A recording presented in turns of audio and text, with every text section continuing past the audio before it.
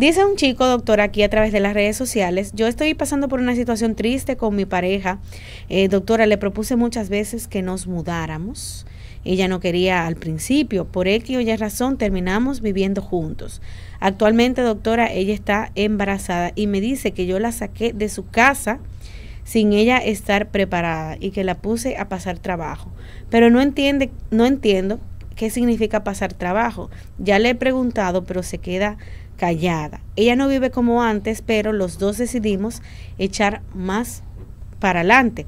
Hay veces, doctora, que hasta se me quiere ir tres semanas consecutivas para donde su mamá y le entiendo por este tema del embarazo. ¿Qué usted me puede decir? Realmente yo creo como tú, fíjate, ella te dice que tú la sacaste de su comodidad.